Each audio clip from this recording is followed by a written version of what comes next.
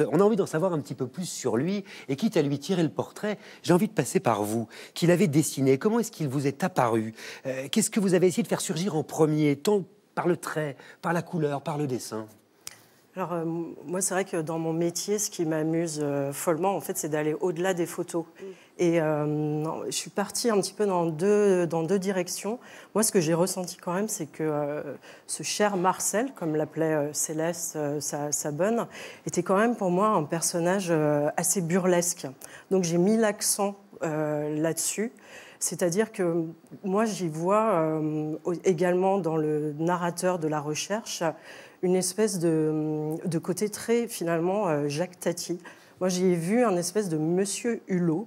Alors, certes, plus bavard, euh, beaucoup plus dandy euh, que le vrai Monsieur Hulot, mais un, côté plein d'autodérision, où il y a, je trouve qu'il y a plein de situations dans la recherche où le narrateur est tourné en ridicule.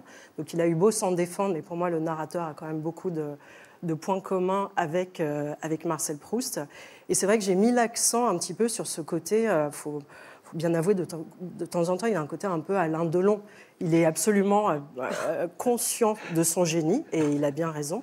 Il parle de lui à la troisième personne, et c'est pour ça que j'ai voulu lui donner un, côté euh, à la fois voilà, très, très gracieux, parce que je suis partie bien sûr aussi de sa, de sa gouvernante qui était éperdue d'amour pour lui.